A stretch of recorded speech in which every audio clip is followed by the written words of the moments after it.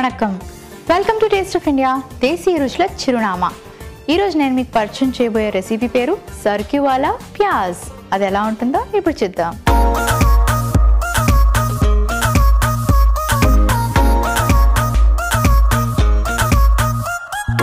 ఈ రెసిపీ చాలా డిఫరెంట్గా ఉంటుంది చాలా వెరైటీగా కూడా ఉంటుంది సో ఇందులో చూస్తే మనం షుగర్ యూజ్ చేస్తున్నాం వెనిగర్ యూజ్ చేస్తున్నాం అండ్ షాలెట్స్ అన్నమాట వీటిని సాంబార్ ఉల్లిపాయలు అని కూడా అంటాం కదా వాటిని యూజ్ చేస్తూ డిఫరెంట్గా తయారు చేస్తున్నాం.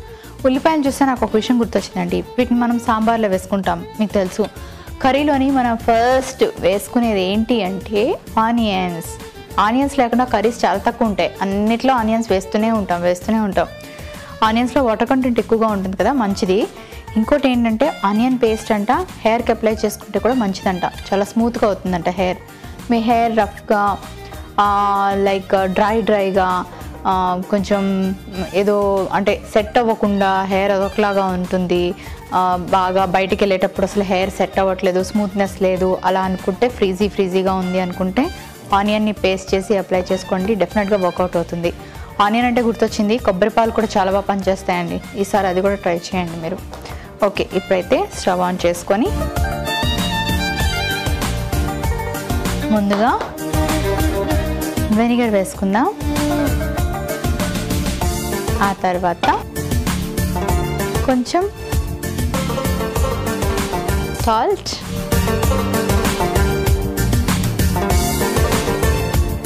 అండ్ కొంచెం షుగర్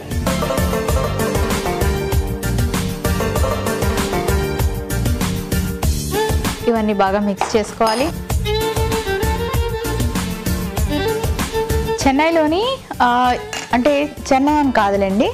నార్మల్గా ఇండియాలోని ఎక్కువ టెంపుల్స్ ఉన్న ప్లేస్ ఏది అంటే టక్కని చెప్పాలి అంటే ఒక ప్లేస్ గుర్తొస్తుంది. ఏంటో చెప్పనా? తమిళనాడు. తమిళనాడులో చాలా ఎక్కువ టెంపుల్స్ ఉన్నాయంట. నేను మీకు గోల్డెన్ టెంపుల్ గురించి చెప్పాను అలాగే కంచి గురించి చెప్పాను రామేశ్వరం ఒక ప్లేస్ ఉంటుంది అది కూడా చాలా బాగుంటుంది. అండ్ ఇవే కాకుండా తమిళనాడు అంతా టెంపుల్స్ ఉంటాయండి. ఎక్కువ ఈశ్వరుడు గుళ్ళు ఉంటాయన్నమాట అక్కడ. అక్కడ వారికి చాలా భక్తి ఎక్కువ. తమిళనాడు వాళ్ళకి. అండ్ దగ్గరలో తిరుపతి ఉంది కాబట్టి ఇక్కడ వాళ్ళు ఎక్కువగా తిరుపతి కూడా వస్తూ ఉంటారు. సో షుగర్ కాస్త మెల్ట్ అయింది కదా ఇప్పుడు మనం ఆనియన్స్ వేసుకోవాలి. ఆనియన్స్ ఇందులో మనకి చక్కగా కుక్ అవ్వాలి కాస్త వాటర్ కూడా వేసుకుందాం. ఓకే. సో ఈ రెసిపీ చాలా వెరైటీగా ఉంటుంది. ఈరోజు మనం ఒక వెరైటీ రెసిపీ చూస్తున్నాం అని చెప్పుకోవాలి. ఇంకా చెన్నై గురించి చెప్పాలంటే ఒకప్పటితో పోలిస్తే ఫిలిం ఇండస్ట్రీ హాఫ్ వరకు మనకి ఇక్కడికి టాలీవుడ్ అంతా ఇక్కడికి వచ్చేసింది కాబట్టి ఓన్లీ అక్కడ తమిళ్ సినిమాలే ప్రొడ్యూస్ అవుతూ ఉంటాయి. చాలా చిన్న బడ్జెట్లోని చాలా న్యాచురల్గా అక్కడ సినిమాలు తీస్తూ ఉంటారండి.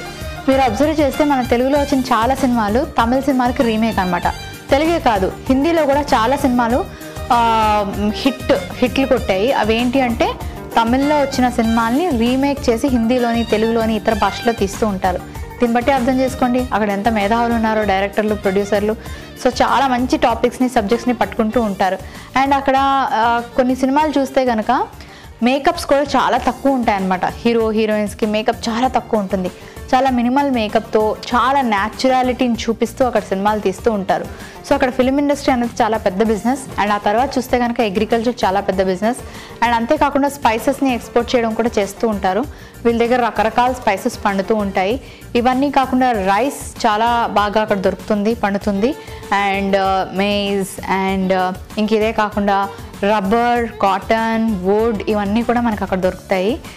సో టూరిజంకి మంచి ప్లేస్ అని చెప్పొచ్చు క్విజన్ వైజ్ చూసుకుంటే కూడా మంచి ప్లేస్ అని చెప్పొచ్చు. And most important thing Tamil భాషని ఎందుకు అంత ప్రాముఖ్యత ఇస్తారు ఇక్కడ తమిళియన్స్ అంటే మన ఇండియాకి ఇండిపెండెన్స్ వచ్చిన తర్వాత first national what you call national traditional లాంగ్వేజ్గా తమిళ్ని సెలెక్ట్ చేసుకున్నారట. అందుకే తమిళ్కి అంత ఎక్కువ ప్రాధాన్యత ఇస్తారు. And minimum eighty six percent population Tamil మాట్లాడే వాళ్ళు ఉన్నారంట. ఇవన్నీ పక్కన పెడితే అక్కడ హిందూస్ ఎక్కువ. డామినేటింగ్ పీపుల్ ఎవరు అంటే హిందూస్. డామినేటింగ్ అంటే ఏదో డామినేట్ చేస్తారని కాదు. పర్సంటేజ్ వైజ్ చూస్తే హిందూస్ ఎక్కువగా ఉంటారు. ఆ తర్వాత క్రిస్టియన్స్ ఆ తర్వాత ముస్లిమ్స్ సో ఆనియన్స్ కుక్ అవ్వడం కొంచెం టైం పడుతుంది. కాస్త వెయిట్ చేయండి. సో మరి ఆనియన్స్ ఎంతవరకు కుక్ అయ్యే చూద్దాం. మనం షుగర్ సిరప్ వేసుకున్నాం కదా. సో ఆనియన్స్ ఏంటంటే షుగర్ సిరప్లో కుక్ అయ్యేసరికి ఆబ్వియస్లీ ఇవి స్వీట్ అయిపోతుంది. స్వీట్ రెసిపీ అయిపోతుంది. ఇంకాస్త దగ్గరికి అవ్వాలి. సో దగ్గరికి అయ్యాయి కదా. ఇంకొంచెం దగ్గరికి అయితే ఇంకా బాగుంటుంది. సో ఇంకా తమిళనాడు గురించి చెప్పాలి అంటే అక్కడ రామేశ్వరం చాలా చాలా ఫేమస్. అండ్ రామేశ్వరంలోని సముద్రంలోని ఒక రైల్వే ట్రాక్ ఉంటుంది. దీన్ని పంబన్ అంటారనమాట ఈ ప్లేస్ని. సో ట్రైన్ చాలా స్లోగా వెళ్తూ ఉంటుంది ఆ ట్రాక్ మీద. ఆ ట్రాక్కి అటు ఇటు సపోర్ట్ ఉండదు. నేను డైరెక్ట్గా అయితే చూడలేదు కానీ యూట్యూబ్లో చూశాను. చూడటానికి చాలా స్కేరీగా డేంజరస్గా ఉంటుంది. కానీ ట్రైన్ చాలా స్లోగా పట్టాల మీద చాలా వెళ్తూ ఉంటుంది. అటు ఇటు చూస్తే సముద్రం. సముద్రంలో మనకి మామూలుగా సముద్రం ఒడ్డుని నిలబడితేనే అలలకి అటుకి సౌండ్కి ఎంత భయంగా అనిపిస్తుందో కదా. ట్రైన్లో ఉండేవాళ్ళకి ఎలా అనిపిస్తుందో ఆలోచించండి. చాలా బ్యూటిఫుల్గా ఉంటుంది అడ్వెంచరస్గా ఉంటుంది అండ్ స్కేరీగా కూడా ఉంటుంది. సో షిప్ వచ్చేటప్పుడు ఈ బ్రిడ్జ్ ఓపెన్ అవుతుందంట. అదైతే నేను చూడలేదు. అండ్ అబ్దుల్ కలాంది కూడా రామేశ్వరమే.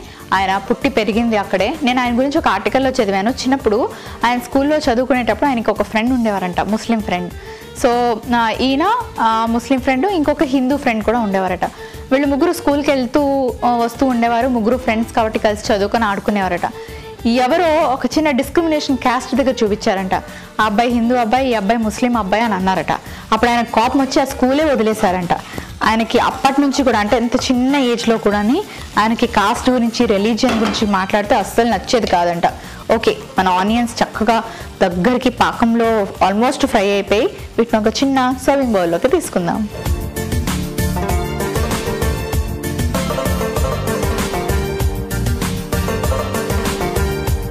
సర్కివాలా ప్యాజ్ రెడీ అయిపోయింది. దీనికి కావలసిన పదార్థాలు తయారీ విధానం మరొకసారి చూసేయండి. సర్కివాలా ప్యాజ్ కావలసిన పదార్థాలు సాంబార్ ఉల్లిపాయలు ఒక కప్పు వెనిగర్ ఒక టీ స్పూన్ పంచదార ఒక కప్పు ఉప్పు తగినంత. సర్కివాలా ప్యాజ్ తయారు చేసుకునే విధానం. ముందుగా పాన్ పెట్టి వెనిగర్ వేసి అందులో ఉప్పు పంచదార వేసి బాగా కలిపి ఆ తరువాత సాంబార్ ఉల్లిపాయలు వేసుకొని బాగా దగ్గర పడేదాకా కలుపుకోవాలి. సర్వింగ్ బౌల్లోకి తీసి సర్వ్ చేసుకుంటే సర్కివాలా ప్యాజ్ రెడీ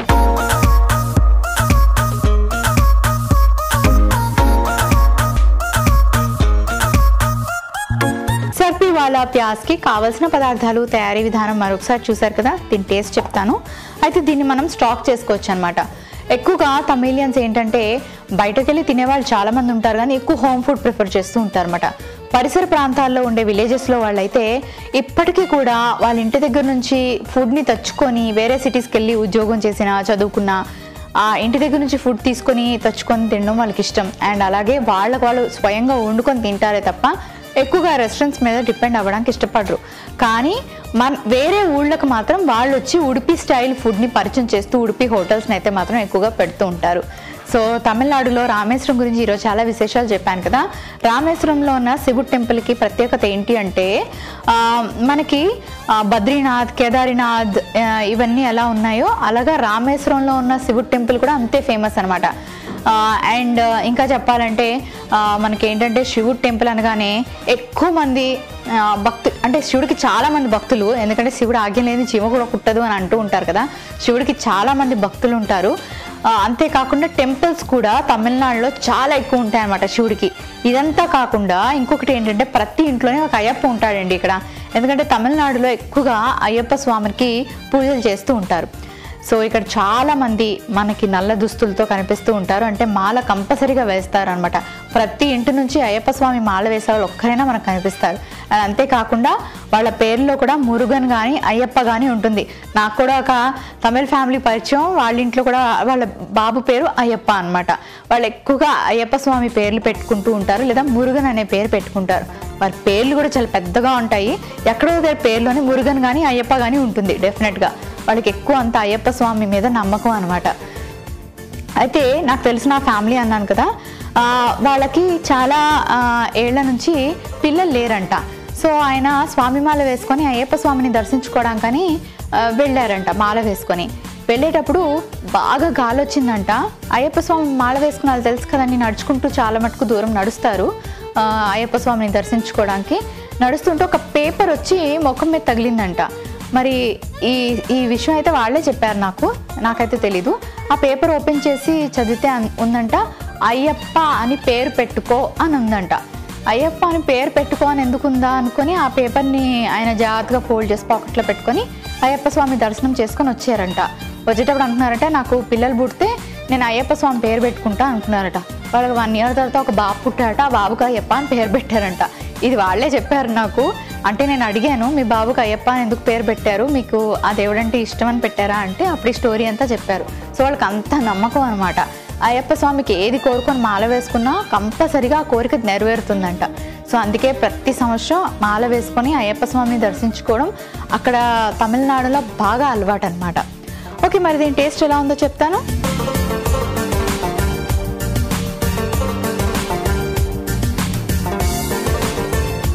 Hmm. మ్మ్.